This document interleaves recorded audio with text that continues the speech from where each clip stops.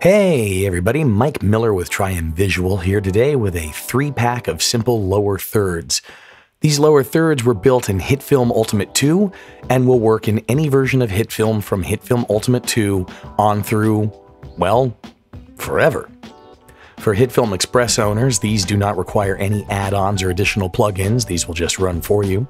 So let's go ahead and take a quick look at how to use these in your project. Here we are in HitFilm Express 4, and I've got a random bit of video loaded up.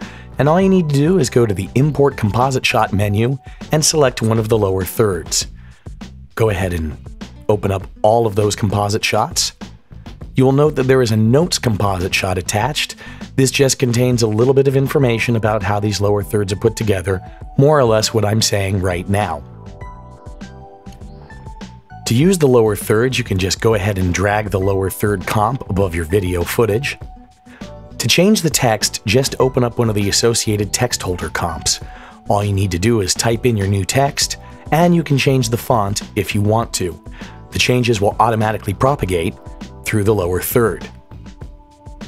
Otherwise, these lower thirds are very simple. If you look at the panel 1 and panel 2, you will see that there are just grid effects on there with some keyframing on the grid positions and the border radius. By changing the keyframing of the positions or the border radius, you can very quickly get a whole bunch of different looks out of using one basic effect.